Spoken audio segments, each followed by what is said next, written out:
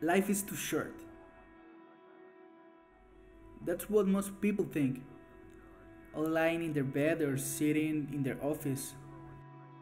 Not knowing what will happen tomorrow brings me actually peace of mind, and I'm fully trust that the roads will be shown when we walk in and there will always be good people guiding us.